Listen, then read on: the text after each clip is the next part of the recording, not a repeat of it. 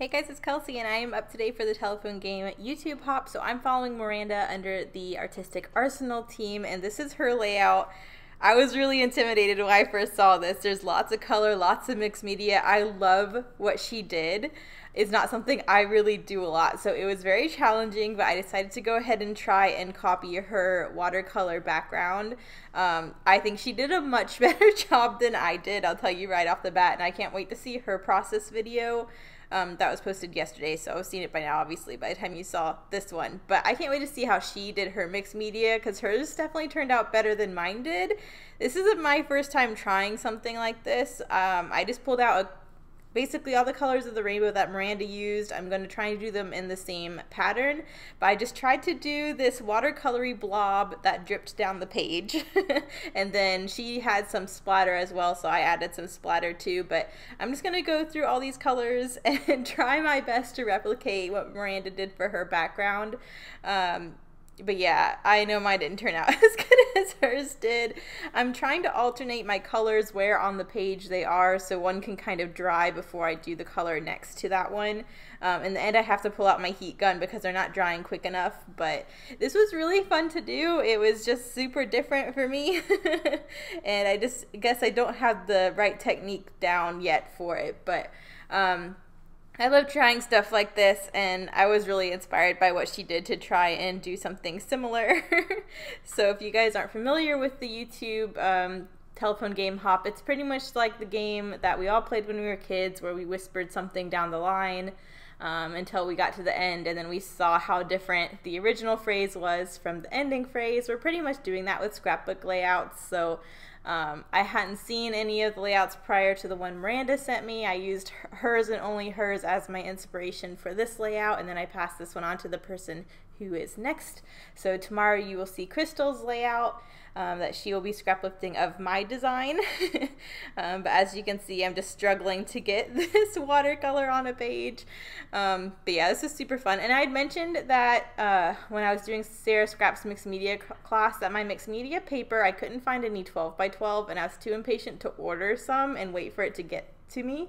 So I just ordered the closest thing I could find or um, at the store. So it was like an 11 by 13 paper pad. So that's why this is kind of an oblong shape. I kind of already cut it down to 12 inches and now it's 12 by 11.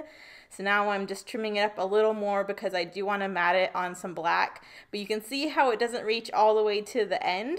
But luckily enough, this design has some vertical strips that go all the way edge to edge. So you can see where I'm cutting my paper now. I'm going to mat these so they look like they go all the way across the page and then I'll end up covering this gap anyways with some paper layers the same as Miranda did on hers.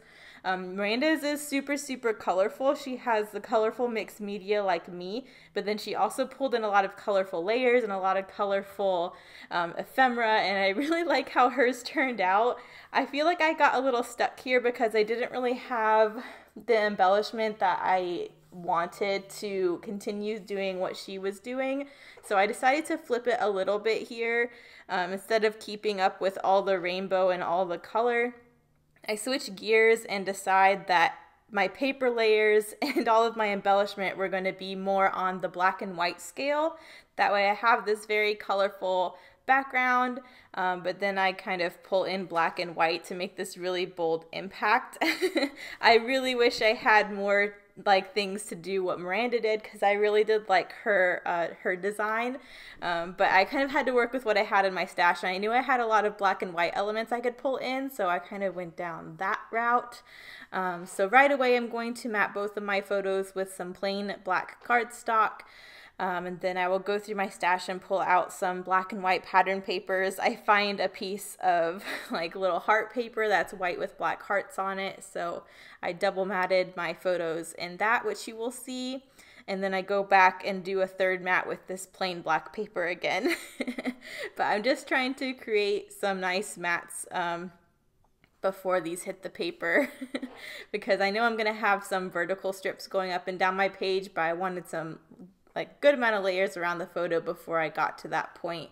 Um, you can see why I already started pulling in some black and white elements on the left there that I think I might pull in I have my uh, clear little water droplet enamel dots. I pulled in a doily. I don't think I end up getting that on a page, but um, glassine bags and black twine I thought would all be really nice uh, layering things that would um, not detract from my colorful background. So I'm just trying to get this heart mat all um, trimmed down. I'm wanting you to be able to see the hearts all the way around the photo, so I kind of had to um, figure out a way to space it so you'd be able to see it. And then I'm going to try and offset the photo a little bit so the, the mat isn't completely square. Um, I just thought this is a fun page with all this mixed media color. I didn't want three mats to be all squared up. so I think by making this uh, heart one a little crooked, it kind of helps make it more fun and whimsical. Um, and you'll be able to see that better once I mat it again on black. I wasn't sure if I was going to do that, but after I matted both of these photos in the heart paper, it really got lost against the background. Um, so doing this third mat with just black helps define it a little bit. So um, that's why I went back with the third one. I think after this though, I need to figure out what my vertical pieces are going to be. I do have my die cuts with the View Jet Black Stack. That's basically a whole paper pad of black and white designs. Um, so I pull pretty heavily from that to get the rest of my paper layers. Uh, but I knew that this was going to be what the photos were going to be matted on, so I went ahead and got those down. um, Miranda also has some tags and, and a bunch of fun layers coming out from the sides of her photos, so um, I'm trying to mimic the same thing uh, with a glassine bag and a tag. These black tags, though, were just a little too short. I really wanted them to be able to reach to the bottom of the photo, but then I remembered I did have some longer black tags that did reach all the way to the bottom of the photo, so I just switched those black tags out for those ones. Um, and I didn't know when I was ever going to use those tags because they are so long, but it actually worked out perfect for this page. So I'm doing that on both outer sides of the photo so that's balanced. And I'm, I'm kind of liking that these are both ending up symmetrical um, because I have this really fun background that's asymmetrical. I like that the photos that are on here are being layered and treated the same way. Uh, and then, of course, that tag needs some twine, so I'm just throwing some black and white twine behind that. Um, this photo was from, was this? I'm trying to remember if this was Savannah or St. Augustine, but I'm pretty sure, yeah, this is St. Augustine. but it was over the Labor Day weekend vacation that Marcus and I went on. We went to um, St. Augustine for a day, and then we went to Savannah for a day on the way back. Um, but yeah, this was during when Hurricane Dorian was uh, rolling in. and so you can see we're at the beach. Um, but we're not going swimming. We had double red flags uh, saying the water was not safe to go in. But I definitely wanted to get some pictures because it looked so cool how stormy the sky looked and how stormy the ocean looked. And then all of a sudden, we got this really vivid, bright rainbow in the midst of all of this dark storminess. And it looked so beautiful. And I just thought this was the perfect page for that to do some rainbow mixed media. And I also felt like it helped enhance the fact that I was pulling in a whole lot of black and white elements because we have all this color, but I'm trying to pull it down a little bit with the black. And that was very reminiscent of that day because we had very dark skies and seas, but then we got this really vivid rainbow. So um, I just pulled in some thickers to do my title. I just called it Beach Rainbow and just had one word on each photo. And now you can see where I'm trying to get those vertical layers down. so I have this one diagonal piece I wanted to be a shorter layer.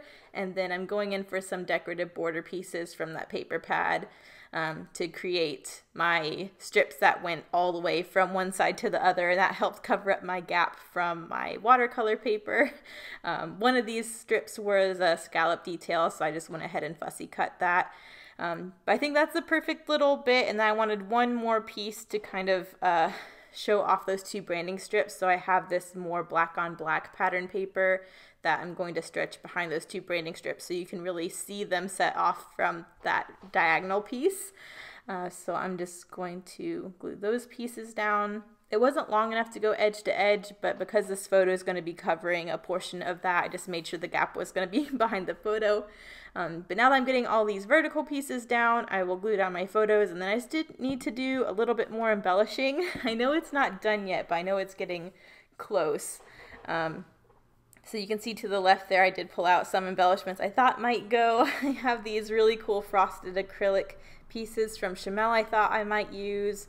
Um, but I end up going back and pulling out those uh, puffy, they're not epoxy, but they're the shiny looking, um, I guess they are kind of epoxy. I don't know.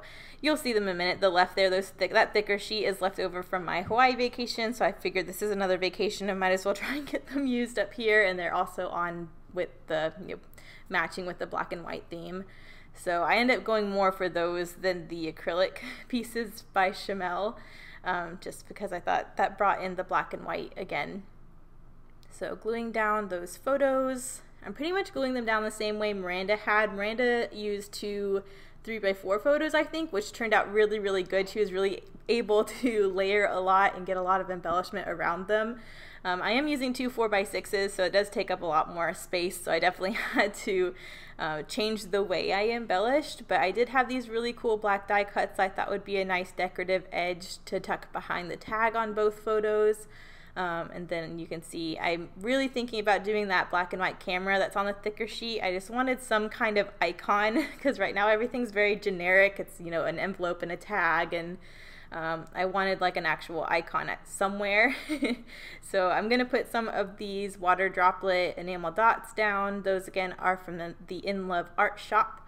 Um, and then I think I'm going to go in with the camera. But I thought those were really cool too because again it looks like you know stormy uh, sky and sea and these water droplets reminded me of either rain or water, you know, the ocean. So I thought those went really well. But here the camera is. I'm going to tuck that down next to that tag. And then I do want a couple small embellishments um, on the other photo as well. But I just really wanted an icon somewhere so that camera was perfect. And then I have those two little arrows that are going to go on the other photo. Um, but I think other than adding a couple more of those little water droplet pieces, I think I'm done. So this one was a lot of fun. So wait, um, I'm going to link my team in the description. Crystal will be tomorrow scraplifting this, and I can't wait to see what she does with it. It was super challenging for me, but I like how it turned out. So thank you guys so much for watching. I'll see you in the next one. Bye.